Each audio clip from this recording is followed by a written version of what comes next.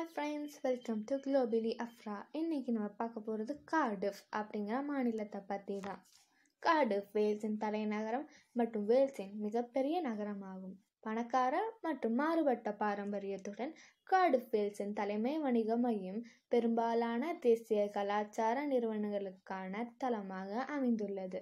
இந்த நகரம் வேல்ஸிற்கான தேசிய சட்டமன்றத்தின் இடமாக இருக்கிறது. முக்கிய இடங்கள் மில்லனியம் ஸ்டேடியம் இது உலகில் இரண்டாவது பெரிய ஸ்டேடியம் மற்றும் முழுமையாக இழுக்கக்கூடிய கூரை இங்கு அமைந்துள்ளது. இது ரக்பி ஃபுட்பால் மற்றும் பிற விளையாட்டு நிகழ்வுகளை வழங்குகிறது. த செனட் த செனட் கட்டிடக்கலைக்கு அறியப்பட்டது. இது வேல்ஸ் கார்டிஃப் தேசிய சட்டமன்ற சந்திக்கும் இடம். இங்கு பார்வையாளர்களுக்கு பலவிதமான வசதிகளை கொண்டுள்ளது. கார்டிஃப் கோட்டை. இந்த கோட்டை பதினொன்றாம் நூற்றாண்டில் கட்டப்பட்டது.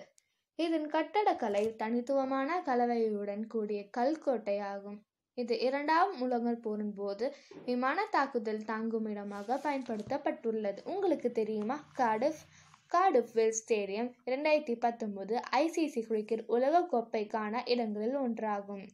ஏராளமான உட்புற ஷாப்பிங் அர்கேடுகளை கொண்டிருப்பதால் இது தி சிட்டி ஆஃப் அர்கேட்ஸ் என்று அழைக்கப்படுகிறது.